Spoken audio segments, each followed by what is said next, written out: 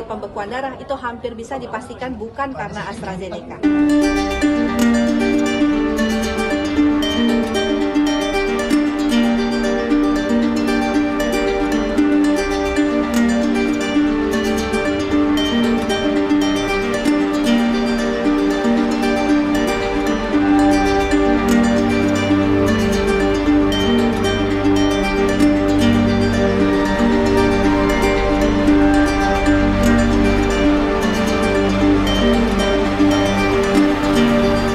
Dua hari.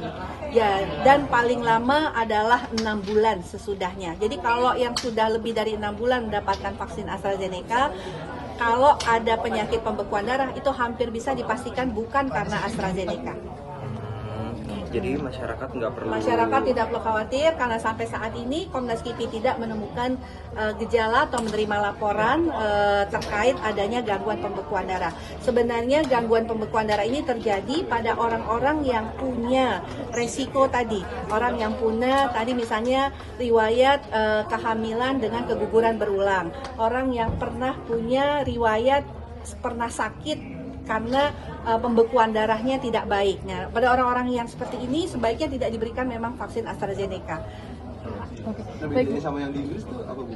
Misalkan Indonesia kasusnya kan 6 bulan tadi bu, langsung 6 bulan. Kalau di Inggris apa memang dia langsung klaim atau? Iya, kalau di Inggris kan sebenarnya juga pada rentang masa efek samping tersebut ya. Jadi kita sama sebenarnya standarnya.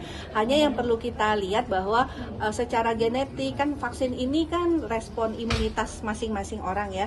Jadi pasti akan juga terpengaruh dengan uh, genetik, ras dan juga pola hidup ya. Karena kan Uh, kalau kita lihat angka kejadian uh, pembekuan darah di Eropa jauh lebih tinggi dibandingkan orang Asia.